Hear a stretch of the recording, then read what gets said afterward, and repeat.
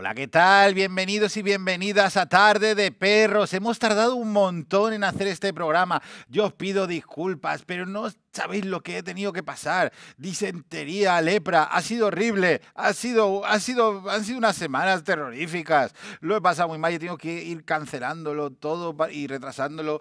Y desde aquí quiero mandar tres abrazos muy fuertes, ¿vale? El primero es Alberto Lechuga, nuestro querido Alberto, porque iba a estar hoy aquí Iba, él se apuntó, yo dije, no, ya lo tengo cerrado, dice, no, da igual, yo voy. Y como me da corte a mí decir que no, pues iba a venir y vamos a ser eh, cinco personas hoy.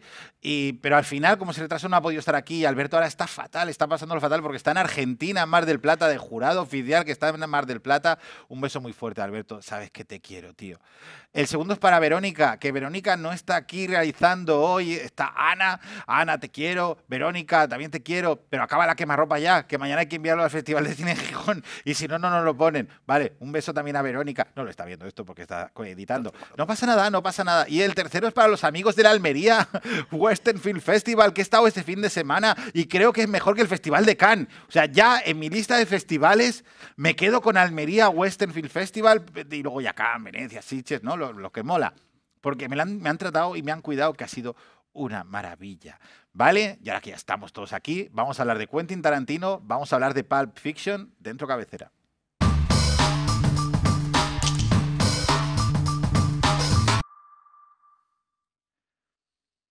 estoy tomando una cerveza, ¿eh?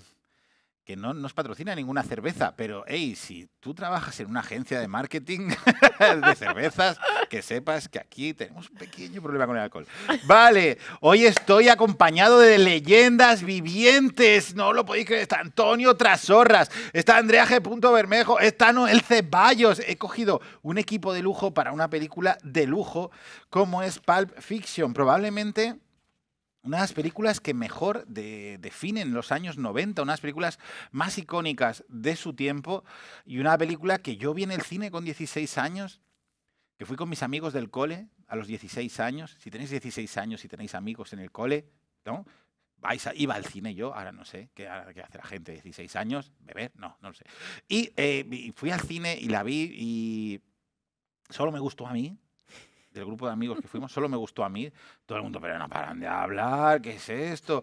Claro, Pulp Fiction, cuando se estrena, es una película súper rara. Es un fenómeno brutal con el tiempo, pero el momento era una película que descolocaba mucho por su estructura en acordeón, por secuencias muy largas, con gente hablando mucho. Luego, de repente había un giro rápido, brutal, ultraviolento y se convertía en algo muy chulo. Era una película especial y ha tenido que pasar el tiempo para convertirse, pues creo yo, en una de las películas más icónicas de la historia del cine. Yo creo que Tarantino tiene mejores películas. Creo que Los Odiosos 8 o Once Upon a Time in Hollywood o Malditos Bastardos creo que son mejores, mi opinión, ¿eh? que Pulp Fiction.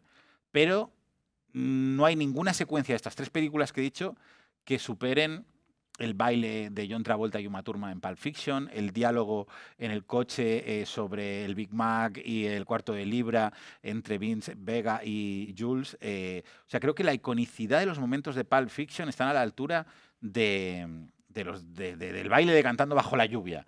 O sea, está realmente en lo más alto de la historia de la memoria del cine, ¿vale? Mi opinión. Películas de 1994 cuando yo tenía 16 años, ese Alex que era tenía melena. Vale. Ed Wood de Tim Burton, Hoop Dreams de Steve James, la mejor película de básquet de la historia del cine, y Clerks de Kevin Smith. Pulp Fiction, segunda película de Quentin Tarantino como director. La primera fue en el 92, Reservoir Dogs. Em, se estrena en el Festival de Cannes del 94. Se rueda Pulp Fiction, lo tengo por aquí apuntado. Eh, el 20 de septiembre de 1993 empieza el rodaje y acaba el 30 de noviembre de 1993. Se estrena en Cannes.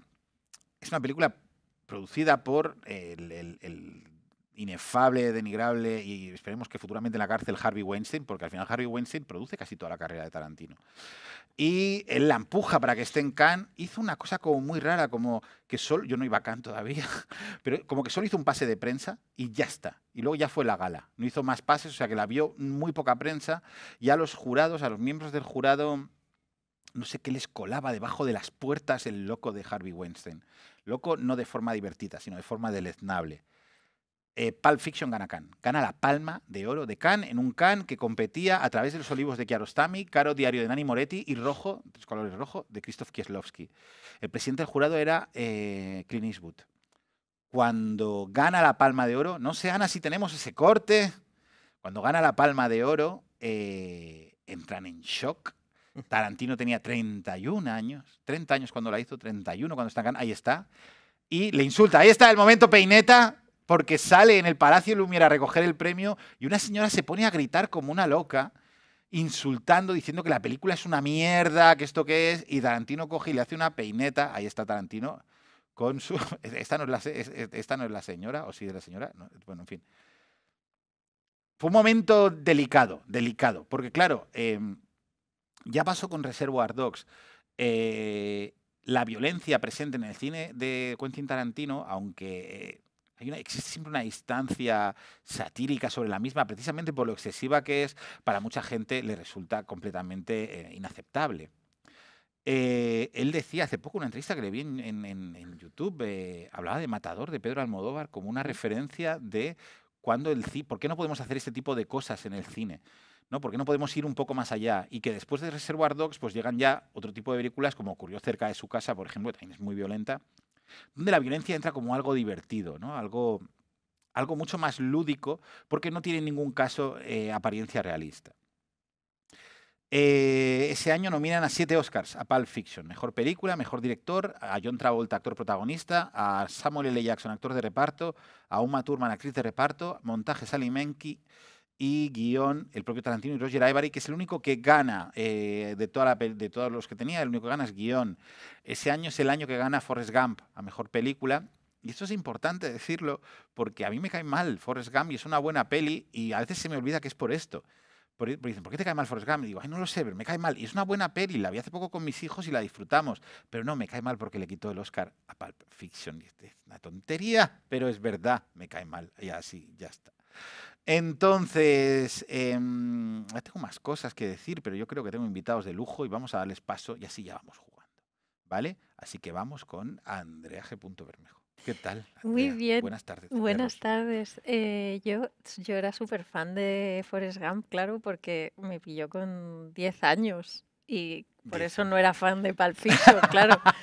Y, mm, y, es muy curioso porque eh, yo llego a Pulp Fiction por la banda sonora la banda sonora fue un exitazo. No sé cómo acaba ese CD en mi casa, porque yo no tengo hermanos mm. mayores, no, no sé, era muy pequeña, pero ese CD estaba en mi casa y yo escuchaba esa banda sonora y yo tampoco era tan muy musiquera en ese momento, pero como loca, o sea, una y otra vez desde el principio hasta el final. Con los diálogos. claro, entonces cuando de repente veo la peli mucho tiempo después, Digo, pero si es que me sé los diálogos perfectamente, porque como acompañaban el principio de las canciones, mm. y esto, claro, me ha hecho reflexionar estos últimos días, eh, el, claro, lo, lo, lo, que ha permeado Pulp Fiction la cultura popular de los siguientes años, ¿no? Yo creo que no hay en el cine reciente un caso similar, ¿no? De, de, distintas maneras, ¿no? O sea, yo creo que coge mucho de la cultura popular anterior y lo, de, y lo devuelve, ¿no? Eso, eso me parece súper interesante. Y también quiero aprovechar para decir que si hay alguien de marketing en las marcas de cerveza sin gluten, que se acuerden de mí que soy celíaca. Ella no bebe gluten, pero es perfecto para patrocinar cerveza sin gluten. Pues eh, ese disco era. lo tenía todo el mundo.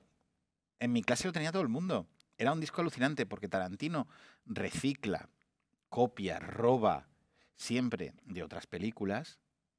Eh, momentos, detalles, secuencias, imágenes, todo, ¿no? Él lo recicla robándolo claramente, pero convirtiéndolo en algo que mola mucho, en algo que es precioso de ver, pero con las canciones hace lo mismo, porque coge muchas bandas sonoras y las mete en sus películas, bandas sonoras de películas de, lo mismo, de lo que le gustaba a él, la Black Exploitation, el Spaghetti Western, el, el Fantaterror, el cine de, más hardcore, y cómo recicla todo eso en, o sea, coge una cultura que es trash hasta cierto punto, en ningún caso respetada por la crítica, y él eh, la convierte en películas que le encantan. A la no encantan, hay gente que no soporta a Tarantino, ¿eh? pero eh, en general lo convierte en algo que mola. Y eso yo creo que es una de las labores de generosidad absoluta que ha hecho Tarantino con su Y, cine. y yo creo que ya es de los pocos directores que quedan que la gente conoce por su nombre, ¿no? No Sí. sé vosotros cómo lo veis. Sí, sí, sí. Y que llevan a la gente al cine. Es, Sí, el, eh, sí, no he apuntado el dato, pero eh, el dinero que ha hecho ganar Tarantino a Harvey Weinstein ha sido increíble. O sea, porque eh, todas sus películas han dado muchísimo, muchísimo dinero costando poco. O sea, eh, Pulp Fiction costó 8 millones y medio de dólares y recaudó 200 millones. Pero no sé si Malditos Bastardos y Kill Bill entre las dos hicieron 750 millones. Es una pasada. barbaridad. Es una barbaridad. Una barbaridad. Sí, porque Paul Thomas Anderson tiene esa misma facilidad para hacer el cine que quiere, ¿no? Que, que pocos directores mm, en el presente Mm. tienen, pero no llega a tanto público, ¿no? Y, y no es tan reconocido por el público general, ¿no? Yo creo que es de los, de los últimos directores que han, ¿no? que, que han, que han creado una marca, por así decirlo. Y con nueve películas solo. Y que le quedan una o dos, queda ¿no? Me queda una. Una. En Queda una. principio una. en principio una. Señor Antonio Trasorras. Muy buenas tardes de perros. Buenas tardes. Eh, bueno, nos hemos preparado un montón este programa. Mogollón. Este programa sigue una Ha sido- escaleta férrea que entonces cada uno sabemos lo que vamos a decir los demás y tal. Yo estaba un poco preocupado porque, claro, a mí me sueltan con Pulp Fiction y es lo que decíamos, podemos hablar horas y horas y horas. Entonces, ¿cómo atacar Pulp Fiction? Pues, por ejemplo, eh, se me ocurre el diálogo que hace Tarantino como cineasta con el propio cine y con la, con la historia del cine desde una película que cuenta una historieta, o en este caso muchas historietas, pero a la vez él se las arregla para aludir, para referenciar y para de alguna manera em, establecer contactos emocionales suyos propios, personales, eh, con otras películas de otros directores de otras épocas y lo mismo hace con la música, por cierto. Coge una música y la coloca donde no debería y consigue un efecto de eh, cariño, un efecto nuevo de cariño hacia esa música de dónde viene, pero a la vez se sale con la suya que consigue que la escena funcione. En, eso es un, es un absoluto ma- maestro. Em, en Pulp Fiction, por ejemplo, recuerdo, recuerdo de ayer por la noche, que es cuando me volví a ver la película, aunque me la sé de memoria, pero la volví a ver, digo, a ver qué pasa si me veo esta noche otra vez Pulp Fiction, porque podía haber venido sin, sin vérmela de nuevo. Y de repente hay, hay un plano en el que Travolta y Bruce Willis coinciden en la barra del bar este antes de Mm. ir a ver a Marcellus Wallace. Em, Travolta lleva esa, esa estética patética de camiseta que se acaban de. Como la peli está desordenada, como las historias están desordenadas, no sabemos todavía por qué lleva esas pintas. Porque ya les hemos visto antes eh, con sus trajes, pero de repente Travolta está con la camiseta patética, los pantalones patéticos, las chanclas. Y eh, coincide en la barra con Bruce Willis. Y de repente se miran. Y por algún motivo, esos personajes en ese momento no han compartido nada de trama. Por algún motivo se miran y se caen mal. Y se establece una, una dinámica entre ellas de confrontación extraña, de machos. Y tú dices, ¿por qué? ¿Qué está pasando? Lo que está pasando es que Bruce este, mm, Tarantino está enfrentando a Bruce Willis, que es el héroe de acción de los 90, el macho que lo peta en ese momento en la historia del cine, contra Volta que lo petó en los 70. O sea, está enfrentando dos épocas. Absolutamente. ¿Y de dónde venimos? Venimos de una escena en la que a Marcellus Wallace le hemos visto de espaldas que le está contando a Bruce Willis el qué. Le está diciendo, tú eres un boxeador, no has logrado triunfar.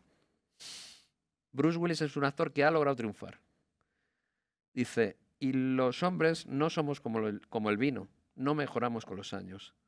Te vas a convertir en vinagre. Te vas a convertir en vinagre. Aprovecha ahora, toma este dinero, que es lo que vas a poder conseguir. O sea, le está diciendo, la decadencia es inevitable. La decadencia en Pulp Fiction es Travolta, Mm. es los 70. Tarantino admira a Travolta, le admira de Impacto de Brian De Palma, le admira de Fiebre de Sábado Noche, le admira hasta de Gris, o sea, eh, le ama a Travolta, pero es la decadencia y le enfrenta en esa escena Con el que mola. la estrella actual de los 90. Y se produce ahí algo extrañísimo que sobrepasa la escena. O sea, Tarantino está trabajando a un nivel de mensaje que va más allá de lo que cuenta Pulp Fiction. Y eso lo hace constantemente Tarantino. Esta es su segunda película. Por supuesto que luego hará mejores películas, pero lo hace todo el rato. En Reservoir Dogs hay un momento de esto de, de diálogo él mismo con su cinefilia. Y a mí es una cosa que anoche me vuelvo a ver Pulp Fiction y me vuelve a fascinar. Es decir, este tío, qué inteligente era ya a esa edad. El Tarantino quería dar el papel de Vince Vega a Michael Madsen. Mm.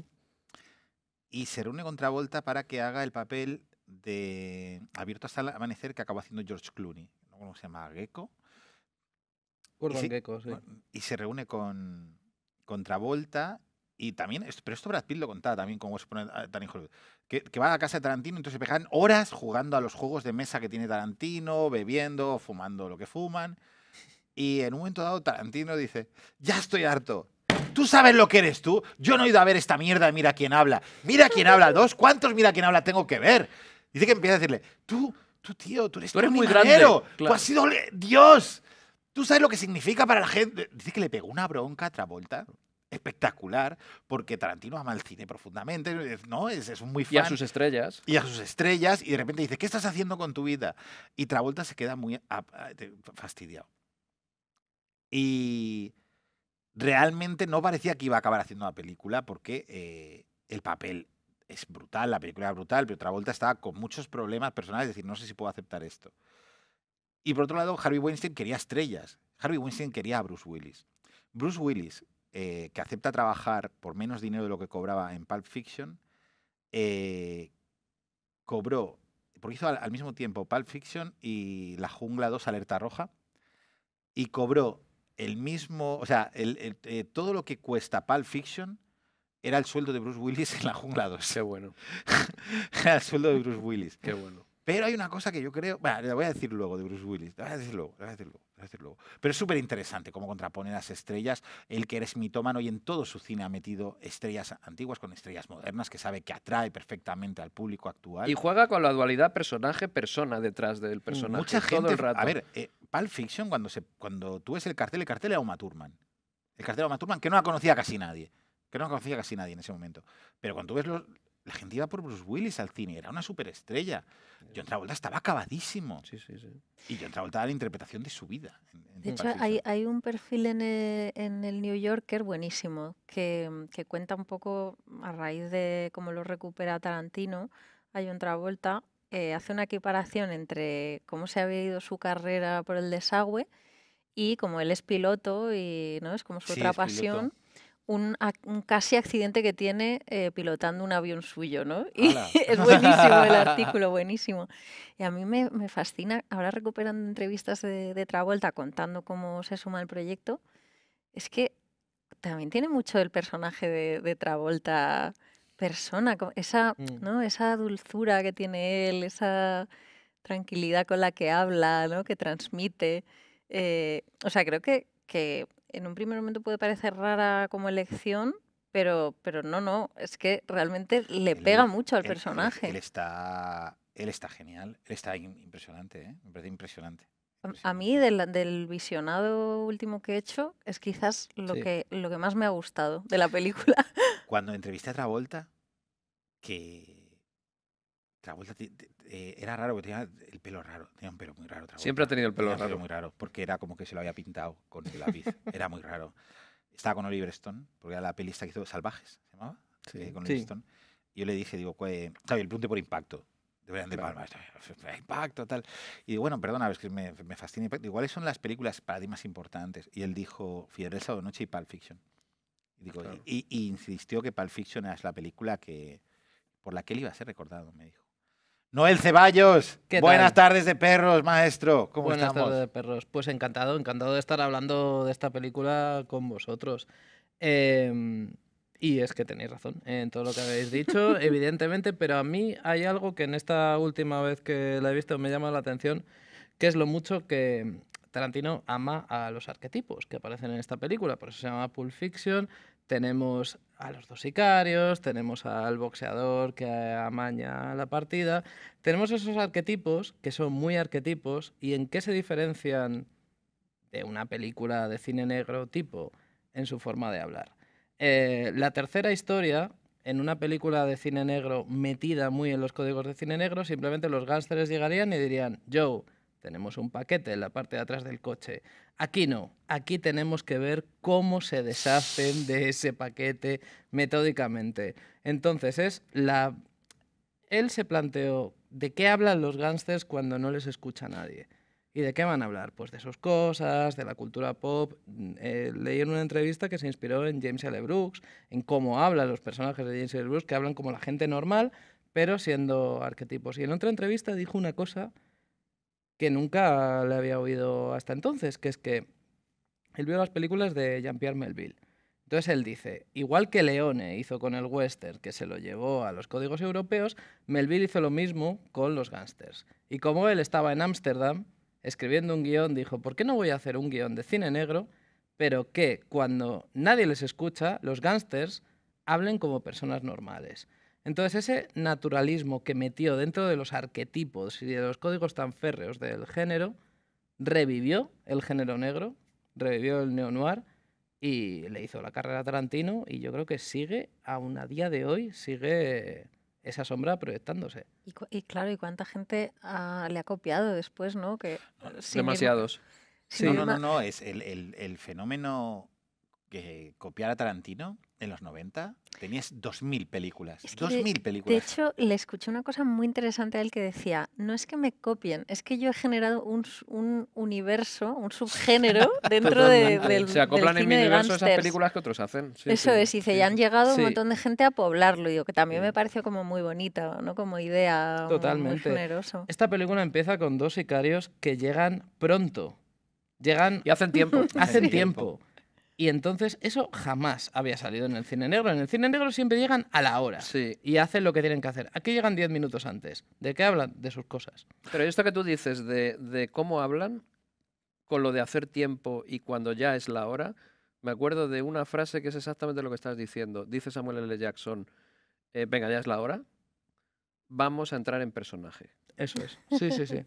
Y estos empiezan a interpretar el papel que tienen que interpretar para montar el numerito con los de dentro, que es lo que termina asustándoles, cagándoles de miedo y tal, pero ya no son los mismos cuando entran en personaje. O sea, vienen en el coche hablando de sus cosas, bla, bla, bla, bla, vamos a esperar aquí, pero una vez entran y ya se trata de acojonar a estos y termina con, con- con las muertes y la masacre esa, estos ya son ellos entrando en personaje.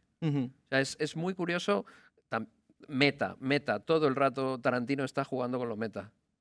Yo em, creo que hace algo mm, que en Reservoir Dogs, en Reservoir Dogs no estaba tan, tan, tan marcado, aquí sí, y también lo estará mucho en Jackie Brown, que mm, conectaría cuando, cuando hablamos aquí de Bresson, eh, que es que em, Tarantino es de los pocos cineastas inesperados.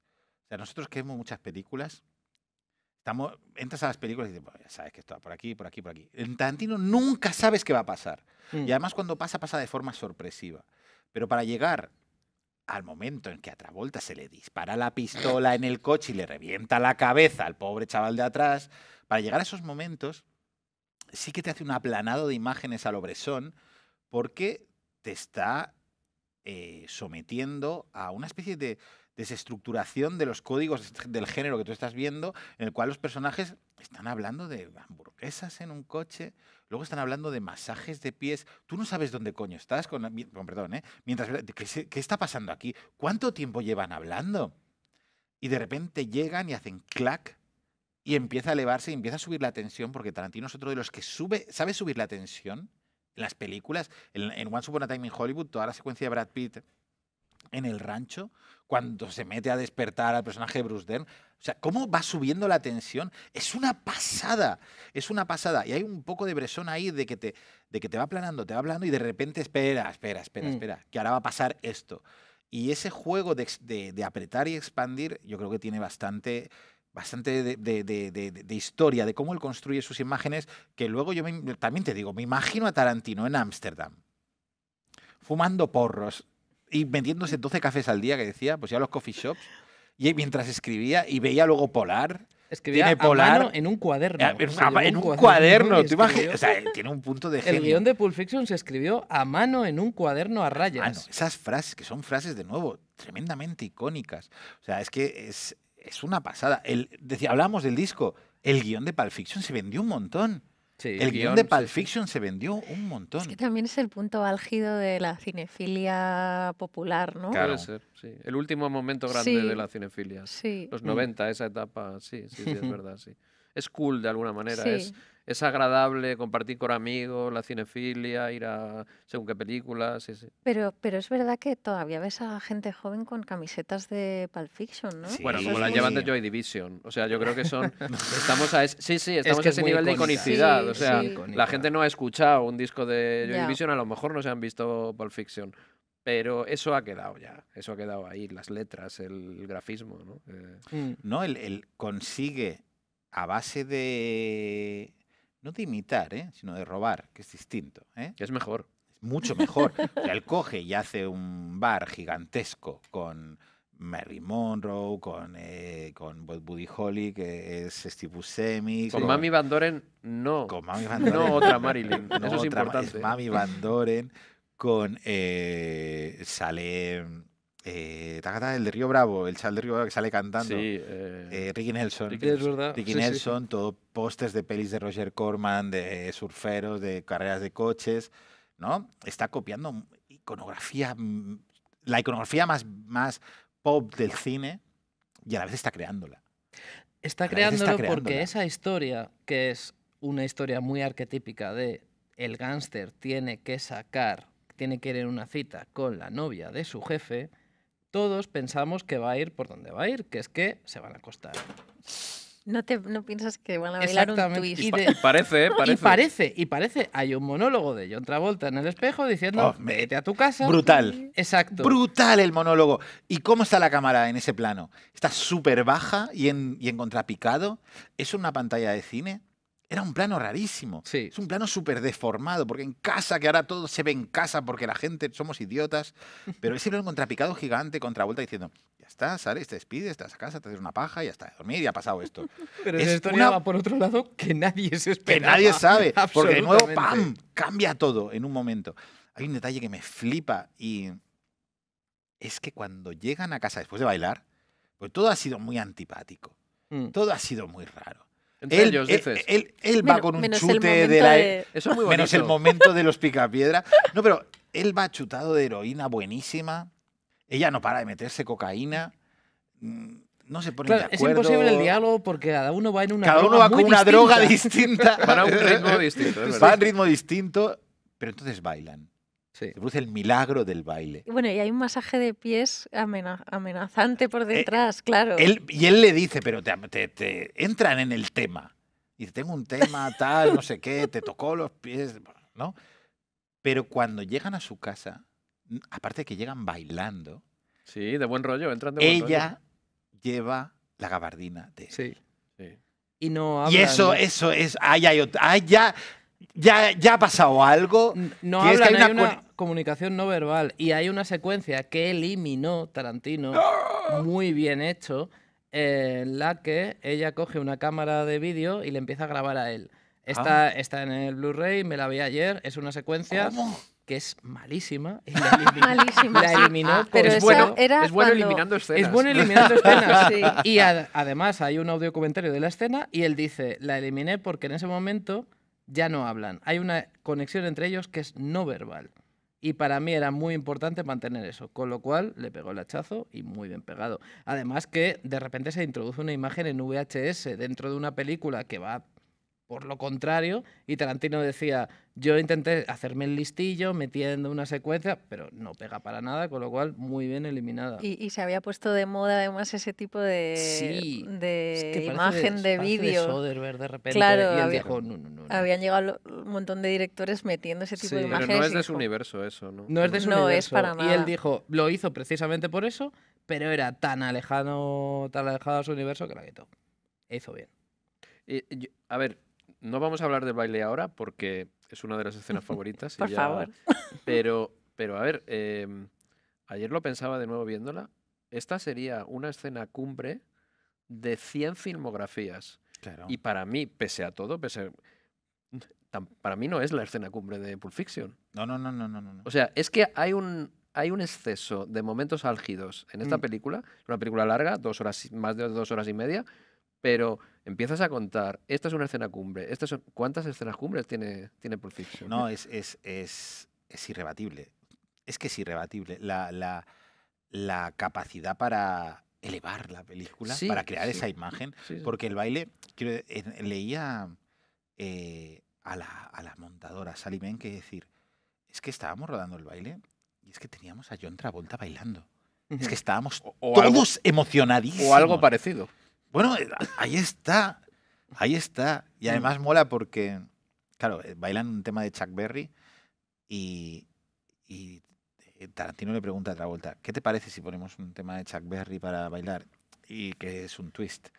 Y dice Travolta, yo a los ocho años gané un campeonato de twist. Además había llegado ahí, o sea, no, no era la intención, ¿no? Que, que tener a Travolta para, para bailar, era... No, no, no, es claro, otra cosa. O sea, llega allí como una escena que ya está escrita hace muchísimo tiempo, ¿no? Y, y- y está rodeado de iconos del Por cine y de la supuesto. cultura popular, y él lo Mm. es también. Él es un icono, él estar por icono, él podría ser un camarero del Sí, Jack sí. Rabbit Slim Sí. perfectamente. Es que no es, no es la escena más icónica, pero desde luego es la escena más molona, porque es que es una escena de baile de twist en una película de gángsters. Sí, sí. Co- ¿Cómo te puedes imaginar que vas a ver eso en medio de bueno, la película? Tarantino hablaba de Godard, ¿eh? hablaba de banda aparte. Claro. Del Claro, baile sí. de banda Sí, aparte, que sí, también sí, ellos Ana Karina, Y luego hay muchísimos planos a lo Godard en la peli. La peli la produce la productora que se inventa Tarantino para esa peli, banda aparte. Luego Banda aparte. Godard le denuncia, tiene que quitar la productora y tal. Pero banda aparte. Pero los planos de cogotes que hay, los planos de Mm. baile que hay, o sea, realmente a Tarantino, que sí, hombre, le iba a la Black Exploitation y le iba, y, y- iba al Spaghetti Western muchísimo, pero también le gusta mucho Godard. Oye, ¿y, y a vosotros qué os parece el profundo amor de verdad que se nota, no solo en Tarantino, sino en tantos cineastas americanos por la cultura popular americana, que en absoluto la veo reflejada, no solo en España, sería muy fácil decir, es que los españoles tal, pero ni siquiera en Europa, ni siquiera en otros países europeos, yo observo en Italia, en Francia, en Alemania, en Rusia, el país que se os ocurra, no hay tanto amor por la cultura popular de tu país expresado en películas. En cambio, Tarantino es un ejemplo extremo y esta parte de, de, del baile, con todo eso que le rodea, que es, que es no solo una leyenda bailando, sino todo lo que hay alrededor del Mm. plano es leyenda de la cultura popular americana. Pero eso como que, mm, como que solo les pasa a No- ellos. no- no- nosotros somos gente muy bestia, somos gente muy, muy dura. es verdad, nosotros somos gente muy, muy bestia, muy duro. Y yo cuando estoy con Tarantino o, eh, o cuando, o no, cuando la gran oportunidad de entrevistar a Tarantino, cuando oigo hablar a Scorsese, siento fa- fascinación porque es gente no solo que hace gran cine, sino que ama el cine. Entonces no hay nada más desastroso que entrevistar a un director que no sabe nada, que le da igual, que eso es muy triste, eso es terriblemente triste. Ya veo por dónde vas. No, no, no, no, no, no, porque te pasa. Te pones con un director y dices, no, pero esto viene de aquí, de aquí. dice, no, yo es que mis amigos son los que saben de cine. Me. ¿Qué me estás contando, tío? Y ahí a ese nivel eh, es una fiesta. Es Claro, pero tú estás hablando del director cinéfilo, Claro, que es verdad que es un tipo de director que Mm. Tarantino es como... es es el el padre, es el padre. ¿no? Es el Aquí hay padre. un, hay un momento en esta película cuando Bruce Willis está en el coche y Marcellus Wallace cruza la carretera Oh, con unos bueno, donuts. oh, Que eso está basado en, en psicosis. psicosis, cuando claro, está- psicosis. Pero él dice, ¿y si lo atropellamos? Claro. Que es como ir Un un, paso más allá, allá. de psicosis. La propia secuencia ya ha superado su referencia y se ha convertido en una referencia en sí misma, porque hay un capítulo de Los Simpson que referencia a Pulp Fiction y hace ya directamente la referencia a esto de Pulp Fiction. O sea que es tan icónica que incluso en sus referencias a, a Hitchcock ya las ha superado y, y hay gente que referencia esta secuencia sin saber que ella misma era una referencia a psicosis. Hay dos referencias que me gustan mucho a otras pelis. Uno es el maletín. Cuando Claro. abres el maletín y hay luz. El beso una- mortal. es El beso es verdad. es el beso mortal de Robert Aldrich, que es una de las pelis de cine negro más raras, Y más Me fascinante. encanta, más locas, Y no- y no, más es- violentas. Es surrealista, abstracta, todo. Y a Sí. esta mujer, la- en, la, en, la peli clásica, cuando abre el maletín, se derrite como en el arca Sí, perdida. cuando abren Porque el es arca. como radioactivo el Es como una es- es locura. nuclear, sí, sí, sí. Y eh, estaba, más, estaba más fina porque luego en Kill Bill lo volvió a hacer y más, más marcado. Y es un spaghetti western que de Giulio Petroni, que es de hombre a hombre, con Lee Van Cleef, que cuando mataban... eh, o sea, es la historia de un niño que es una vendetta del niño, ¿no? Y entonces él, cuando es niño, llegan a su casa unos pistoleros y matan a toda su familia, a sus padres, a sus hermanas.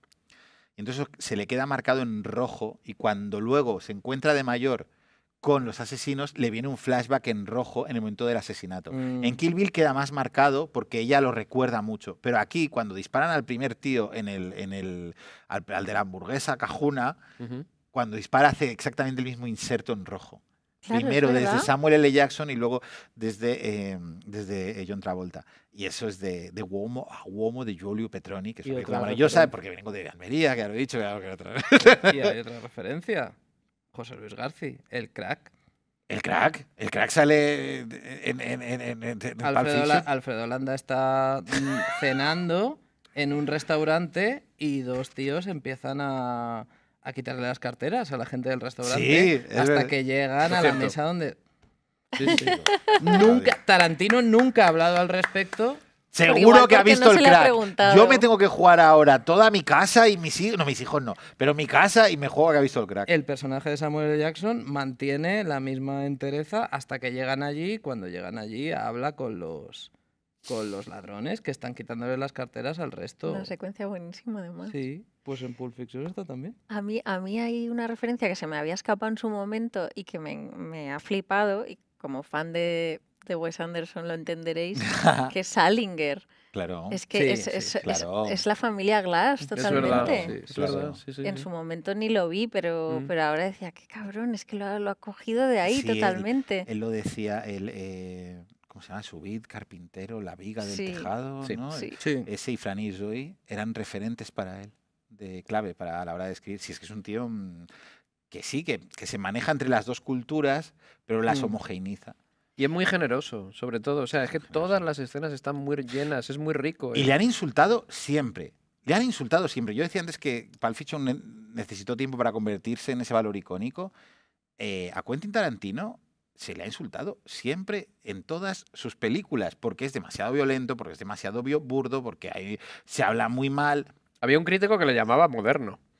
No, Y ya sabemos, ya sabemos. No hace No, falta más. Y el propio Tarantino decía, "Joder", dice, me insultan por todos lados y a los cinco años la ponen en la televisión pública y la ve todo el mundo y es un Mm. referente. Y dice, pero cuando... se-". Y es verdad.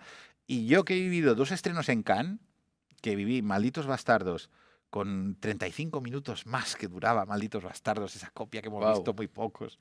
Y Once Upon a Time in Hollywood, eh, obviamente, no es que no, no ganaron nada, ya había ganado la Palma de Oro, ¿no? Pero por Pulp Fiction, pero no ganó nada, pero sino que las críticas eran horribles. Mm. Once Upon a Time in Hollywood, que hoy en día eh, mucha gente te dice que es la mejor peli de Tarantino, Yo. la insultaron muchísimo.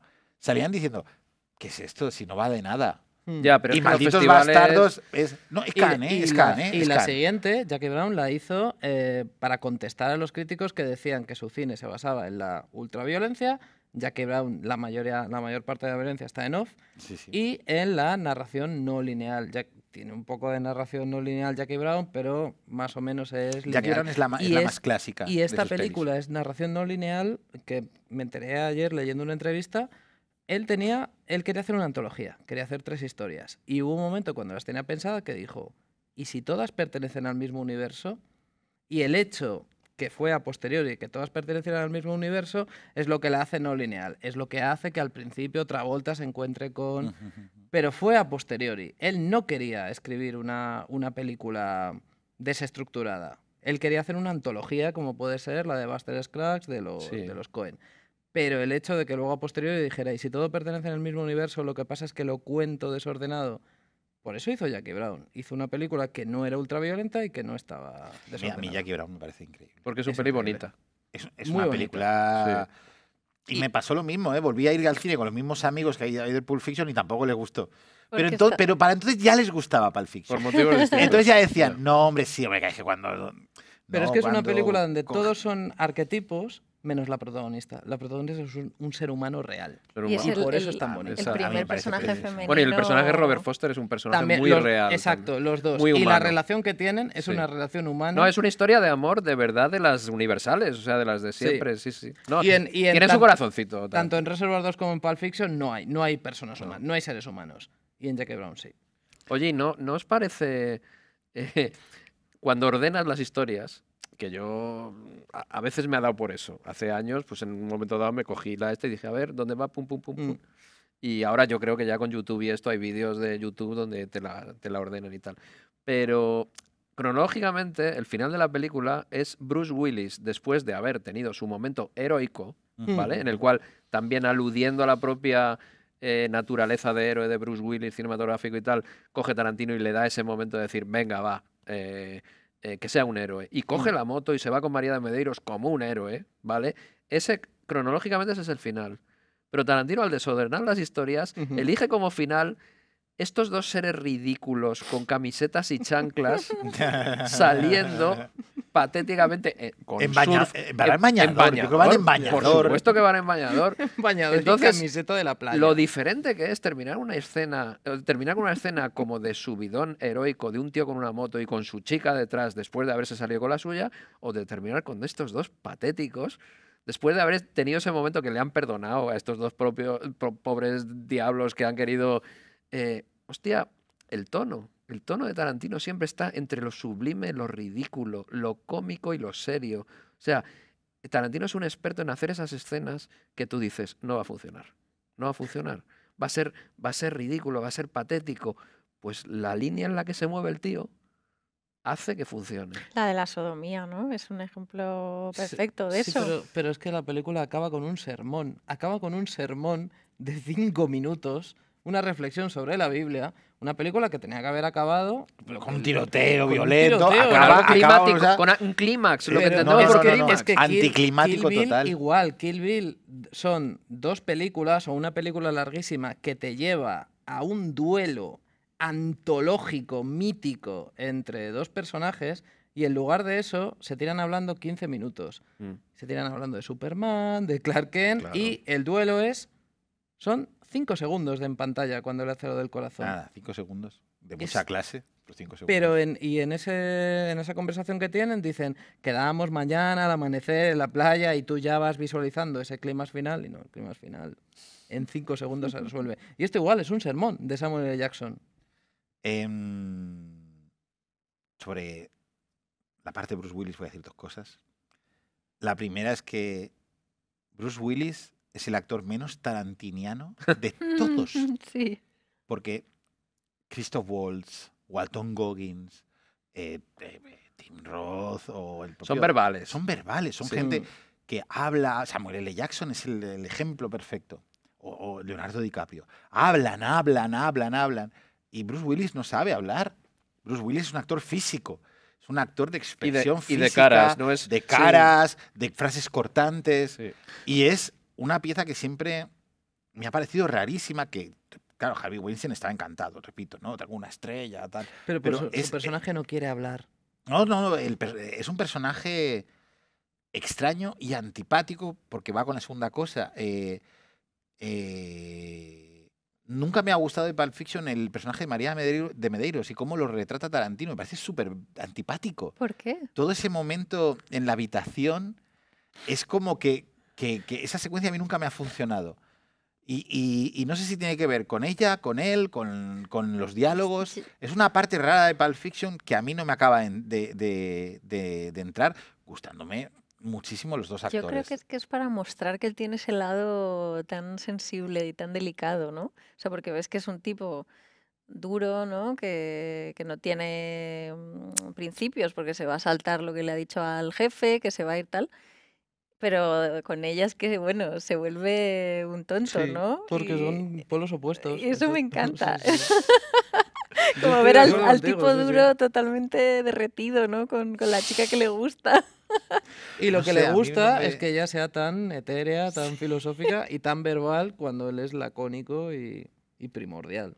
Él tiene el chiste cuando corta, o sea, él coge la tele y la rompe porque ella se ha dejado el reloj y, y momento, y entonces no, bajar el autocontrol, pero el chiste te lo hace en el corte, en el coche pegando puñetazos. Sí. Porque al final yo también recuerdo, es que recuerdo los chistes, o sea, cuando me- se- nos reíamos en el cine la primera vez que la, vimos, la, lo vi- la vimos, y ese era un momento de no, lo único que le dije era que cogiera el reloj, maldita sea, Sí. tal cual.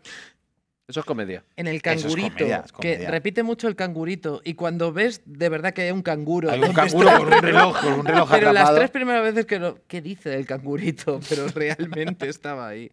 Eh, sí, pero ella le cuenta un sueño que tuvo y él le dice, nunca me acuerdo de lo que sueño. O sea, son dos Claro. personajes muy, muy antitéticos, pero que por eso. Pues yo, yo esa pareja, que bueno, entiendo si a ti no te funciona, yo nunca, nunca he tenido problemas con esas escenas. Yo ahí veía, fíjate, a Godard. A Godard. Sí, sí, es verdad. Retrato sí, de la sí. habitación Sí, también. ve- Sí, es- sí, es veía esa dinámica Bruce, extrañísima, porque es María de Medeiros y Bruce Willis, o sea, es la pareja menos godardiana a priori que te Claro, puedes claro, imaginar.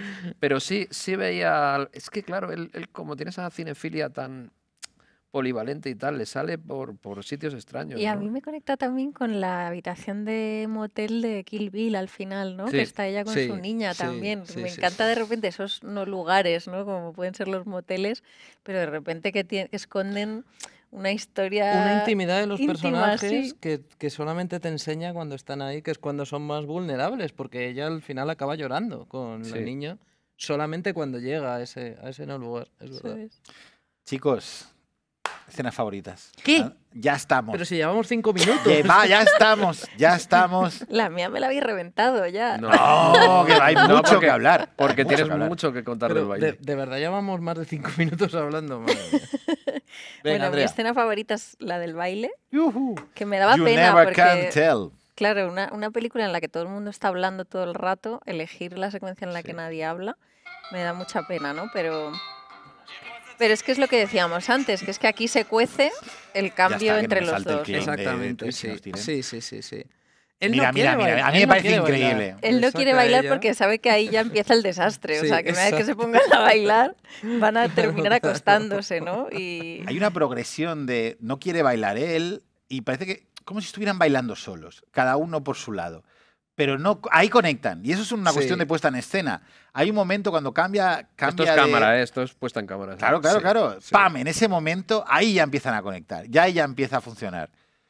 Y esa Sí. gestualidad, ¿no? Es que mm, mirad Porque las ella le caras saca, que tienen. porque dice, ¿cómo te llamas? Mia Wallace. ¿Y cómo se llama él? Vincent Vega. O sea, le pone como esta voz de... Mia Wallace, que lleva el pelo de. Ana Karina de Jean-Luc Godard. Sí, por supuesto, claro. Sí, sí. Mira, ¿ves? El Batman. El Batusi. Este es el momento en el Le que. falta el Robocop y el cruzadito. y- sí, sí. Y es que, que esto sea un disfraz de Halloween, ¿no? Claro, es que es, es que ¿cómo no va a ser de, de Halloween? Es perfecto. Eso Este será Halloween se autoestopista. lo puso a Anna Taylor Joy. Ah, sí. Fue, fue de Mia Wallace. Qué bueno. Sí, sí. Qué bueno.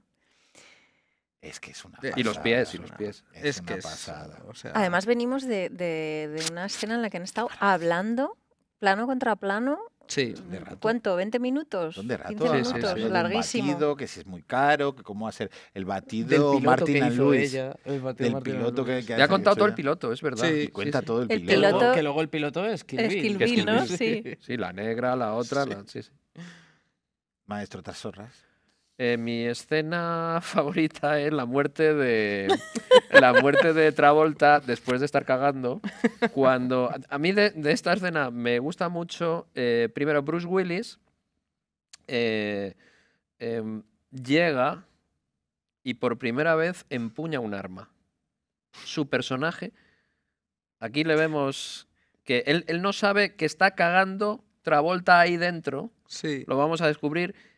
Y por esto él se está familiarizando con un arma. Bruce Willis, Es. John McClane. Es verdad. Tarantino sabe perfectamente que es John McClane. Esto es como un extraño origen de alguien que se va a convertir en un héroe de acción. Y este pobre Travolta que viene de leer y cagar porque está leyendo un libro que es Modesty Blaze de. Peter O'Donnell. Y aquí John McClane, porque vamos a llamarle ya quién es realmente John McClane, se carga al malo. Es la primera vez que, la que- coge- que- es verdad que no que sabe Bruce Willis aparece con la cabeza tan afeitada. Luego ya sería su estética, pero hasta, Pero no- hasta aquí nunca había aparecido así. ¿No, ¿No os parece que Tarantino detrás de cámara lo que está pensando es, tengo al de la jungla de cristal? Voy a hacer que se sienta extraño cogiendo un arma. Sí, sí, sí. Sí. Es como la primera vez que el tío que luego va a estar ahí en la jungla de cristal, ta, ta, ta, ta, ta, coge y empuña un arma. Y te hace eh, una cosa que haría mucho a posteriori, que es matarte a un personaje cronológicamente Sí, luego. que luego vas a Mm. recuperar en vida, y eso pasa en muchas películas. En, eh, ayer que me a los odiosos 8 pasa tal cual, que coge y mata, pues, a- o sea, no, eh, mata a Bob, eh, de- Bob, el, el, el Demian Bichir de, de, Mm. de los odiosos 8, que Samuel L. Jackson le revienta la cabeza directamente y luego lo ves haciendo la- toda la secuencia. Y ahí a eso Tarantino le gusta mucho. eso le Mucho, gusta sí. mucho, le gusta. ¿Y os dio pena cuando murió otra vuelta? Para mí es mm, Jungla de Cristal matando a Mira quién habla. Es Es que verdad, sí. es, así Pero es es que yo creo que la película. Tarantino piensa eso, de verdad. Sí, sí, sí. Lo- él presenta, los presenta en el bar y dice, aquí está, mira quién habla contra la Claro. jungla de cristal. Y ahí lo soluciona. Y gana uno, gana uno. Dice, dice, lo siento, Travolta, tío. Nunca tenías que haberte puesto a hablar con perros. ¡Bla! Noel. Eh, el reloj. La secuencia del Buah, ese, reloj buah, de buah. Christopher Walken. Buah. Por sí misma es una obra maestra absoluta. Es Christopher Walken en su momento más Christopher Walken de la historia. no, no, no, es- es- Cómo está escrita, Es cómo está interpretada, cómo está rodada, todo, todo me parece perfecto. Pero, sobre todo, a mí lo que me fascina es cómo está integrada en la historia. Em, tú ves esta secuencia, luego ves lo de que el tío amaña el combate, se va con su novia. ¿Por qué tiene que volver a por el reloj? Por esto. Pero cuando se está marchando, Bruce Willis eh, sale del sótano, deja a Marcellus Wallace debajo, va a abrir la puerta y Bruce Willis se queda parado. Y recuerda lo que le dice aquí eh, Christopher Walken. Cuando dos hombres están en el infierno, tu compañero y tú sois hermanos, no se deja a nadie atrás. Bruce Willis cierra la puerta y vuelve a por Marcellus Wallace, un tío que le quería Que matar, le quería matar. pero cuando dos hombres están en el infierno, no dejas a tu compañero atrás. Eh, este diálogo, de este monólogo de cinco minutos que le soltó un tío cuando era pequeño, marcó toda su vida. Marcó toda la vida del personaje. Y eso me parece maravilloso. Eh, Quentin Tarantino había tenido un momentazo con Christopher Walken en Amor a quemarropa, porque escribió la secuencia con, total, en- de los entre él y. Dennis Hopper, que era, ya era la Sí, hostia. sí. Y aquí es una barbaridad, una barbaridad. Y os digo otra cosa, viéndola el otro día y sabiendo que la ibas a elegir, Noel, yo con lo que flipaba era con la cara del niño. Porque es niño muy pequeño. Ya hay un señor adulto diciéndole que se ha metido el reloj en el culo. Y lo ha llevado. Y lo ha llevado dos años en el Ese culo. primer plano. Y ahora te lo doy. Ese primer y el plano niño está impertérrito, está. Sí, Sí.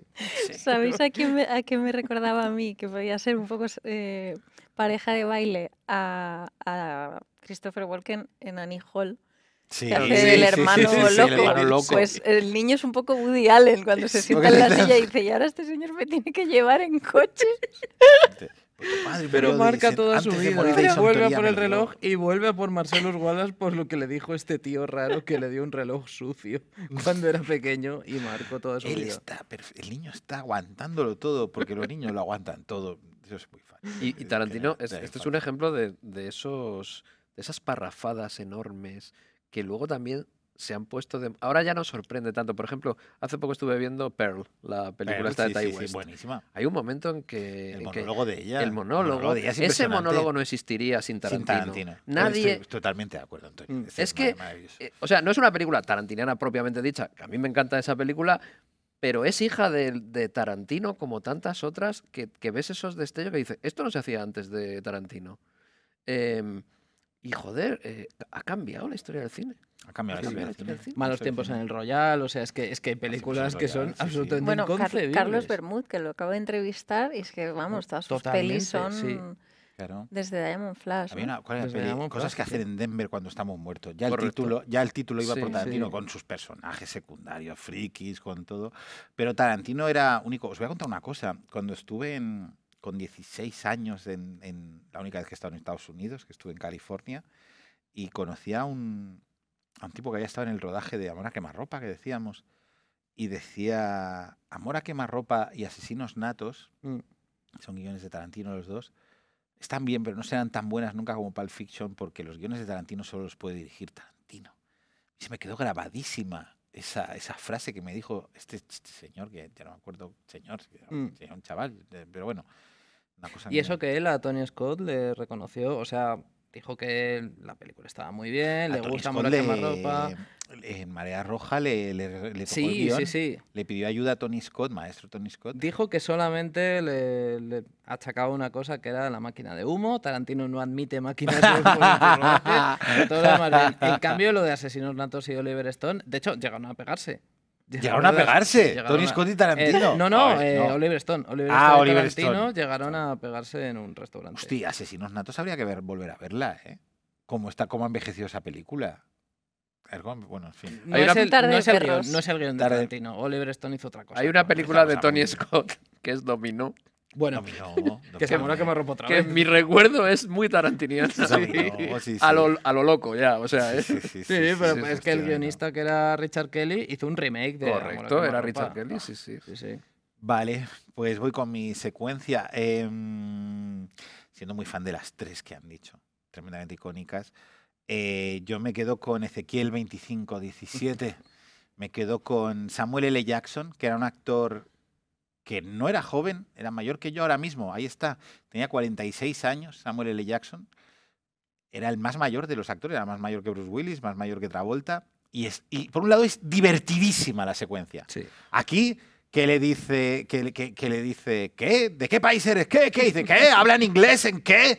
Es una pasada cómo te... eh, él, que ha estado, que le ha comido la hamburguesa, que le ha bebido el Sprite, que se ha cargado al del sofá, el del sofá que... El del sofá está muerto El del sofá está muerto. Porque él está hablando y dice, no, yo creo que Marcelo, si le pega un tiro en el sofá, dice, ay, perdona, te he distraído. O sea, es un momento de alta comedia, violenta, alta comedia. Samuel L. Jackson está increíble, repito. Hasta aquí nadie en el mundo conocía a Samuel L. Jackson. Había salido en pelis de Spike Lee, había hecho otros papeles, había estado enganchado a la heroína, había estado muy fastidiado. Pero aquí Samuel L. Jackson se convierte en otra cosa. Este papel no era para él, era para el, el actor que hace de camarero luego. Porque se Mm. ve que hizo un casting increíble. Y eh, Samuel L. Jackson llegó, llegó a papel perdido al casting. Y sin embargo se lo ganó. Y entonces lee Ezequiel 25-17, que lo lee dos veces, que es otra cosa que no pasaría en ninguna otra película. Mm. Que un tocho tan largo como el que recite, lo recite dos veces. En el mismo día. El mismo día, en el mismo día de la misma día. Entonces aquí tengo la Biblia. Y os quiero leer Ezequiel 25-17 porque es mucho más corto que lo que escribió Tarantino. Igual manejamos bi- Biblias distintas, pero yo recuerdo que cuando vi Pulp Fiction con 16 años, hace muchísimos años, me fui a la Biblia que tenían mis padres en casa, que tenían una Biblia enorme, mis padres tampoco voy a entrar en el detalle, pero una Biblia gigante dibujada, y era corto, y sigue siendo corto. Lo que dice Ezequiel 25-17 es, mi venganza contra ellos será terrible, los castigaré con mi ira, y cuando ejecute mi venganza sabrán que yo soy el Señor. ¿Solo eso? Solo eso, solo eso. ¿Y qué es lo que dice Samuel L. Jackson? Mierda, me he dejado las pistolas abajo, Noel. Me de- tenía, he traído las Pues pistolas de mis pum- hijos. hacemos pum, pum. Él dice, the- claro, dice, The path of the righteous man. Dice, el camino del hombre recto está por todos lados rodeados por las injusticias de los egoístas y la tiranía de los hombres malos. Bendito sea aquel pastor que en nombre de la caridad y de la buena voluntad saque a los débiles del valle de la oscuridad, porque es el auténtico guardián de su hermano y el descubridor de los niños perdidos. Y os aseguro que vendré a castigar con gran venganza y furiosa cólera a aquellos que pretendan envenenar y destruir a mis hermanos. Y tú sabrás que mi nombre es Yahvé cuando caiga mi ventaja sobre ti. Pam, Pum, pum, pam, pum, pam, pam. Pero- Hizo su Te- versión de la Biblia. Tarantino hizo la- dijo, ah, o sea, cogió la Biblia y dijo, Y la esto mejoró". es mejorable, esto lo puedo mejorar. Esto está bien, pero vamos a hacerlo. Dios, mejor". bien, pero espera. La Biblia, primera versión. V1.1. vaya, vaya. sí. Os juro que he traído las pistolas de mis hijos para disparar a Antonio. Lo, se- hemos- lo he pactado con él y me las he dejado abajo. Y. Abajo es que hay más cosas. De aquí donde no hay otra cosa, hay un piso abajo. Mandaste la foto de las pistolas y de la Biblia. Claro, y claro, claro. pensamos que si te paraba la Guardia Civil te detenía porque ibas con Sí, una Biblia ha y sido tres eso. pistolas. Y luego he venido aquí y me han dado otra pistola. Tenía tres, ¿eh? Al final. Tres- esta una con cartuchera. una Nosotros más habíamos moderna. preparado el tarao que entrara, pero también se ha quedado El tarao, que entre el tarao. Se ha quedado en las escaleras. Claro, no podía subir. No podía subir. Bueno, pues ya está. Hasta aquí hemos llegado con Pulp Fiction.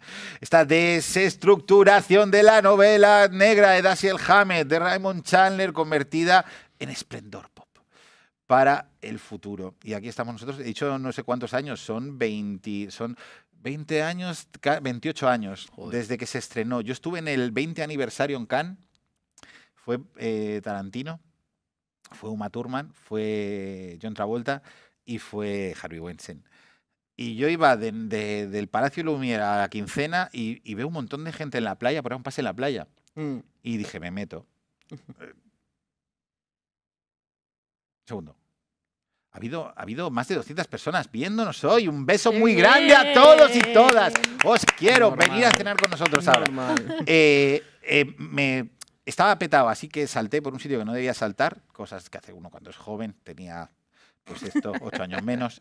Salté, me colé y de repente estoy al lado de Uma Thurman, no me di cuenta, entré por el lado de los famosos y, veo a Uma Thurman, a John Travolta con otro pelo distinto al que le había entrevistado, Pero de raro. otro pelo Pero distinto, raro. y Tarantino sale, hace un showing, porque es el mejor. Mm. El Almodóvar es bueno, ¿eh? Pero, pero es que Tarantino. Y coge y dice, y con esto acabo, y ya cerramos, porque está todo el equipo de realización. Mirad qué horas son, que aquí un montón de horas y estoy, perdonarme todos.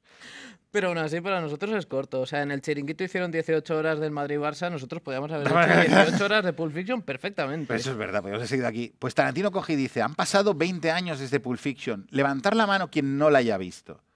Y mucha gente levantó la mano ahí en el cine en la playa de Cannes. Y dijo, ¿qué habéis hecho estos 20 años? ¡Losers! Dijo, tal cual, ¿eh? Dijo, ¡Losers! Pam. Y ya está. Aplausos gigantes, tal cual. Y luego después volvió tan feliz que decidió hacer Los Odiosos 8 porque había dicho que no lo hacía porque se había filtrado el guion en internet Sí. y se cabreó, ¿no? Y volvió a Time Fly y dije, venga, va, la hacemos. Vale, ya está, eso es todo. Oye, nos vemos en dos semanas, dos semanas volvemos. En dos semanas volvemos con una peli de la hostia, con perdón, con Profundo Rosso de Darío Argento, que esto lo dije en septiembre. La segunda vez que lo digo, pero no, metí Pulp Fiction. Verónica me dijo, no, tienes que meter Pulp Fiction. Ahora sí que venimos con Argento. Vale, la pondremos en el pad y vendremos aquí y haremos otro programa divertidísimo porque este es el programa favorito de tus programas favoritos, que ya lo sabes. Un beso, muchas gracias, muchas gracias. muchas muchas Gracias. Venga. Nos hacemos profundos roses.